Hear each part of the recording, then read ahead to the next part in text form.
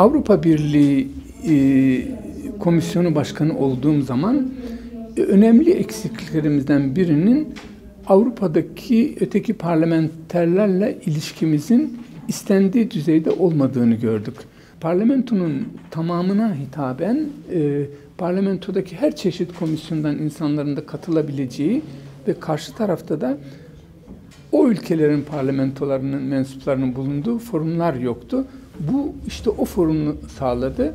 Bugün konuştuğumuz e, Türkiye'deki ismiyle e, Fırsat Eşitliği Komisyonu, e, burada e, cinsiyet eşitliği deniyor.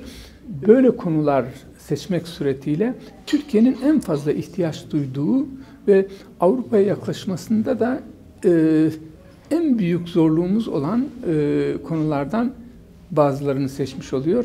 Bunun için e, bence e, bu program bir süre sonra, iki yıllık bir süre içinde e, bir süre sonra bitmiş olacak ama temenni ediyorum ki başarısı görüldüğü için daha ileriki yıllarda tekrar buna benzer programlar yapılsın.